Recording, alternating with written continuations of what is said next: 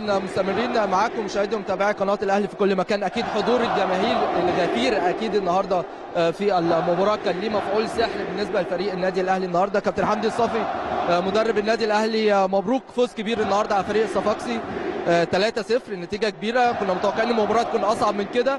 تقييمك لأداء لاعبات النادي الأهلي النهارده. والله الحمد لله طبعا الفوز كبير. فريق الصفاقسي فريق كبير جدا. اللعيبه أدت مباراة قوية جدا نفذوا كل اللي اتقال في الفيديو بتاعهم وفي المحاضرة. نفذوه تقريبا بنسبة 90% الحمد لله.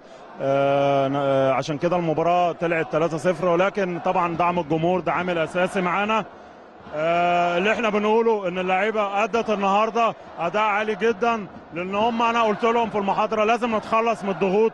جمهورنا بيشجعنا. سامع سامع الجمهور بينادي لك ها خلي بالك. طبعا خليني أقول لكم إن في هذه اللحظات جمهور النادي الأهلي بينادي على كابتن حمدي الصافي.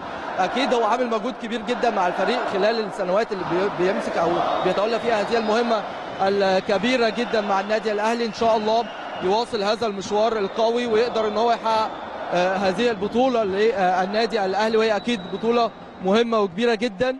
ونتمنى إن شاء الله النادي الأهلي يكمل مشواره خلال هذه البطولة. النادي الأهلي قدر يفوز في المباراة الأولى على فريق سبورتنج. المباراة الثانية قدر إن هو يفوز على فريق الصفاقسي التونسي. أكيد متواصلين معاكم وهيكون معانا لقاءات أخرى كتيرة بالنسبة لفوز النادي الأهلي النهاردة عقب الفوز على فريق الصفاقسي التونسي. طبعا زي ما إحنا شايفين أكيد جمهور النادي الأهلي قدر إن هو يكون ليه دور كبير جدا خلال المباراة النهاردة. مش مباراة النهاردة بس لا أيضا مباراة الأمس. النادي الأهلي ست أشواط.